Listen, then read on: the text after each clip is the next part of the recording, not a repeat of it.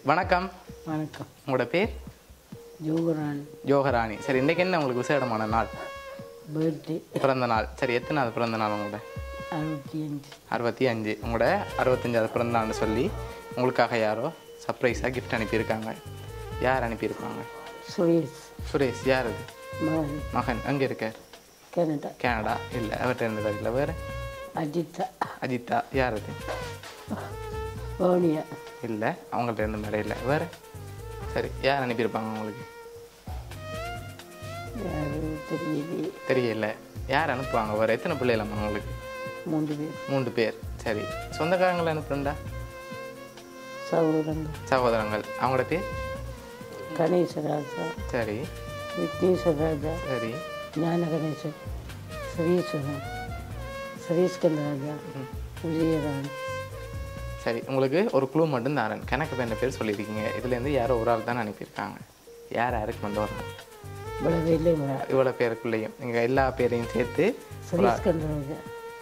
யார் அவர் உங்களுக்கு தம்பி. தம்பி எங்கே இருக்கார்? ஜெயமன் ஜெர்மனில் இருக்கார். அவர் தான் அனுப்பியிருப்பார் அப்படியா? நினைக்கிறீங்க சரி ஓகே. உங்களுக்காக வந்த பரிசுகளை பார்ப்போமா என்னென்ன வந்திருக்குன்னு சொல்லி. சரி உங்களுக்காக ஹாப்பி பர்த்டேன்னு சொல்லி சாக்லேட் பாஸ்கெட் வந்திருக்குது. அது மட்டும் இல்லை உங்களுக்காக இன்னும் நிறைய கிஃப்ட்டுகள் வந்திருக்குது. அடுத்தடுத்து பார்ப்போம் என்னென்ன வந்திருக்குன்னு சொல்லி. சரி இதுக்குள்ள என்ன வந்திருக்குன்னு திறக்கக்கூடாது. மணிக்கூட. வேறு?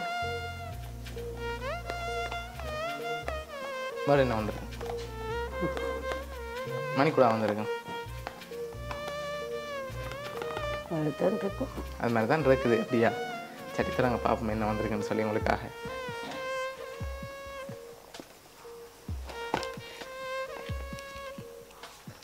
சரி உங்களுக்காக மணிக்கூடு வந்திருக்கு.